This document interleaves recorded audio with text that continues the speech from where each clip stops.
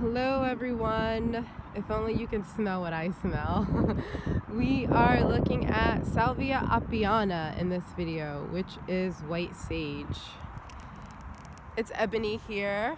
And what do we know about salvias? Salvias are in the Lamiaceae family and they are a true sage, which means they are also a mint and what do we expect to see? We expect to see the opposite leaf pattern and the square stem along with the whorled flowers. Now, Salvia apiana, once again white sage, it kind of it starts from the ground and then it grows up. And it can grow to be pretty pretty tall. And let's get a close up on here. What do we see here? We see the opposite leaves. You see that?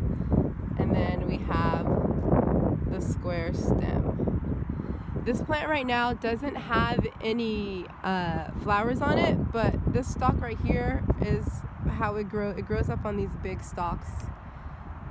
So these are some stalk flower stalks that have died down and you see how tall they, they tend to be. And Salvia apiana has beautiful white flowers.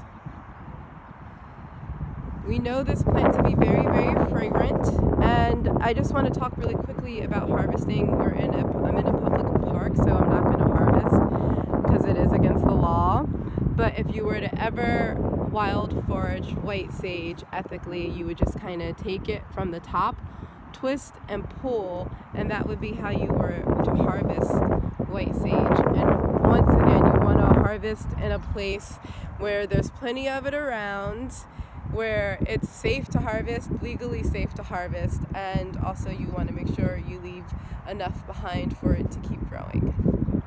All right. So once again,